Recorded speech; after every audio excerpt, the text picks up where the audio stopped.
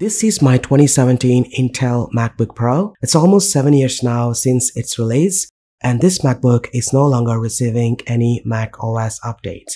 The last update was macOS Ventura and it's completely destroyed my Mac. Don't get me wrong, I'm a huge fan of macOS. It runs much better on newer Macs. However, the older the Mac gets, macOS updates will degrade the performance and the experience will become very laggy. Then I decided to switch to Linux and succeeded installing KDE Neon which comes with Plasma 6 and guess what? The experience was outstanding.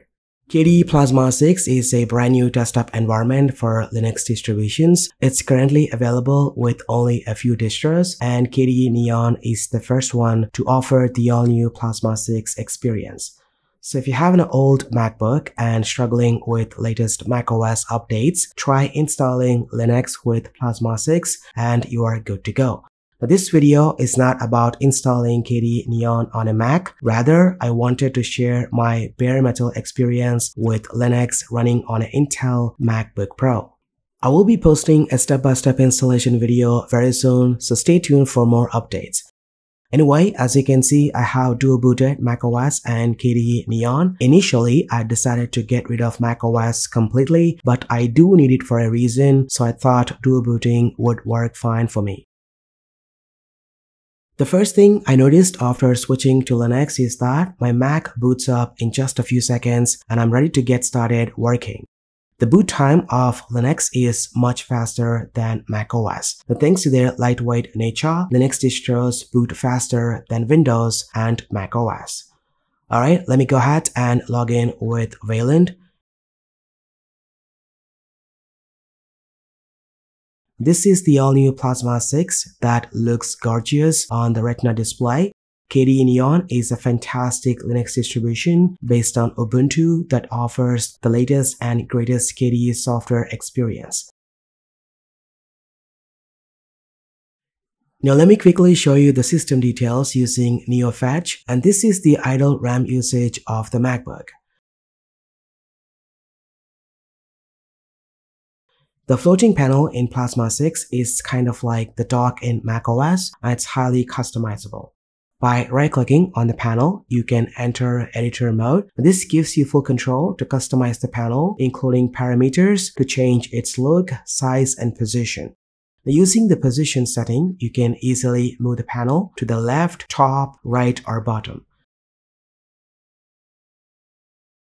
Now, compared to Mac OS dock, panels in Plasma 6 are highly customizable.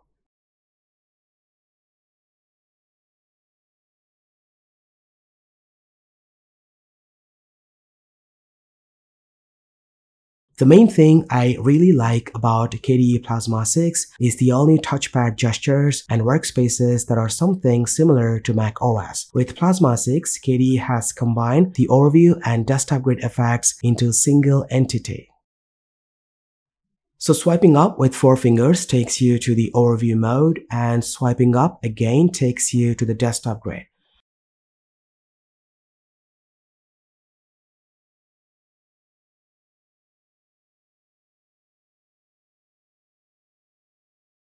Now swiping left or right with three fingers switches between workspaces. Now these gestures are very smooth, in fact much better than macOS and well implemented.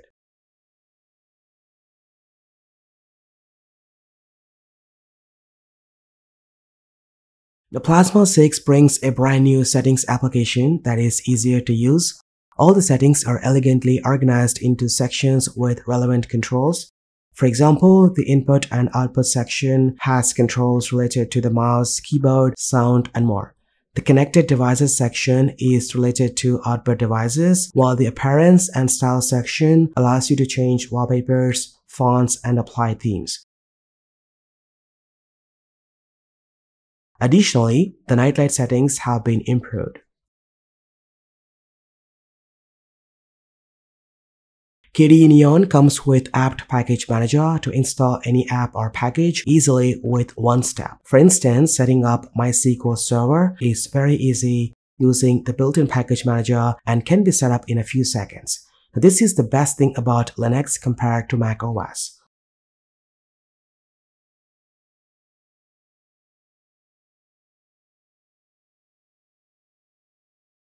Also, the Discover App Store offers a simple user interface to install GUI applications.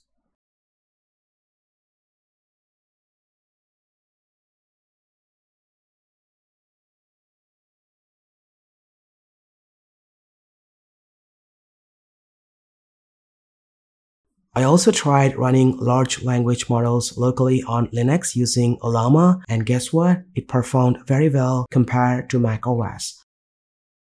Large models like Llama 2 ran very well with the cost of system resources. The only thing I noticed was the CPU fan running at higher RPMs because these LLMs require full processing power to fasten the tokenization, which is completely obvious.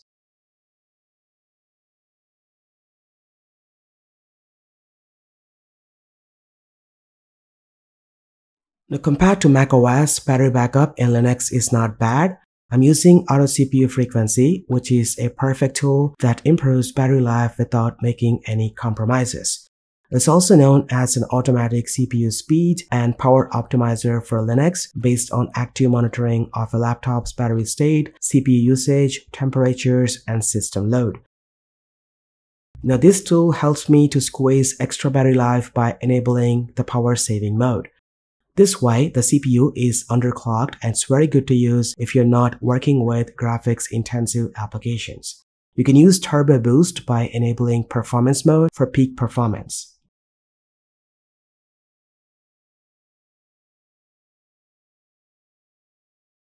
Now let's talk about the bugs in Linux. One of the major issues that I have with Linux on MacBooks is with the speakers and microphone. After installing KDE Neon, the speakers and microphone are not working as intended. I tried to install the audio drivers, but for some reason I could not install them. Another issue that I had with my Mac is the sleep off death issue. When I put the Mac into sleep mode, it shuts down unexpectedly, forcing to reboot.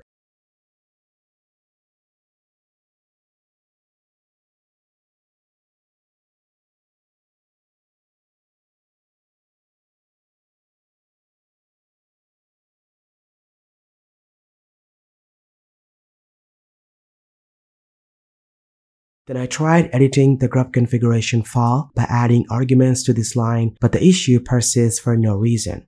Now these are the two major bugs I encountered with KDE Neon on my Intel MacBook Pro. Overall, I would say the bare metal experience with KDE Plasma 6 on my old Mac is next level. I will be using it for quite some time and eventually I will try to fix the speakers down the road. If in case you know how to fix them, do let me know in the comment section down below. If you want to see a full installation video of Linux on old MacBooks, please give a big thumbs up. And that's pretty much it. Thanks for watching. This is been KSK Royal. I will see you in the next one.